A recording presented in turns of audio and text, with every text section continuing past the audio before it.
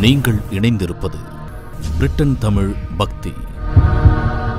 இளையராஜா மகாபெரிவ அனுபவம். ஸ்ரீரங்கம் கோவில் கட்டும் சமயத்தில் கோபுரத்தின் ஒரு பகுதியை கட்டித்தர ஒப்புக்கொண்ட மந்திராலயம் அந்த பணியிலிருந்து விலகிக் கொண்டு விட்டது. அதனால் அப்போது ஜீராக இருந்த தேசிகர் என்பவர் மூலம் பெரியவாளுக்கு திருமுகம் கொடுத்து அனுப்பியிருக்கிறார்.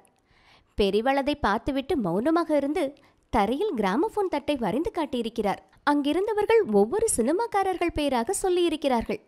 யாரோ ஒருத்தர் என் பெயரை சொல்ல அதுதான் என்பது போல பெரியவர் கையை ஆட்டியிருக்கிறார். இந்த தகவலை நண்பர் ஒருவர் மூலமாக நான் கேள்விப்பட்டேன். அந்த நண்பர் பிரசாத் ஸ்டுடியோ வந்து இதுபோல் ஸ்ரீரங்கம் கோவில் கட்ட பெரியவா அனுகிரகம் பண்ணியிருக்கா. இருபத்தி ரெண்டு லட்சம் ஆகும். நீங்க ஆறாவது நிலை மட்டும் கட்டினா போதும். அதுக்கு எட்டு லட்சம் தான் செலவாகும். என்று சொன்னார். நான் இருபத்தி ரெண்டு லட்சத்தையே தருகிறேன். பெரியவா சொல்லிவிட்டதால் இது அவர் பாரமே தவிர என் பாரம் அல்ல. என்று சொல்லி அனுப்பினேன். இதன் பிறகு பெரியவாளை சந்திக்க ஆர்வம் வந்தது. நானும் ஓவியர் சில்பியும் புறப்பட்டோம். அப்போது சதாரா என்ற இடத்தில் அவர் முகாமிட்டிருந்தார். அங்கே ஊருக்கு ஒதுக்குப்புறமாக இருந்த மகாகாவ் என்ற கிராமத்தில் இருந்தார். அங்கு ஒரு தோட்டத்தில் மாட்டுக் ஜம்மு ஜமுக்களம் விரிச்சு உட்கார்ந்திருந்தார் பெரியவாள். அது மதிய நேரம். அங்கிருந்தவர்கள் என்னை அவரிடம் அழைத்து போனார்கள். என்னை பார்த்ததும் யார் என்பது போல சைகை செய்தார். என்னை பற்றி சொல்லவும் கையை உயர்த்தி ஆசிர்வதித்தார். அவரளவுக்கு ஒளி பொருந்திய கண்களை அதற்கு முன்னர் நான் பார்த்ததே இல்லை. இதுவரைக்கும் பார்க்கவும் இல்லை. நான் கைகளை குப்பினேன். கண்களிலிருந்து தாரை தாரையாக வழிந்தது.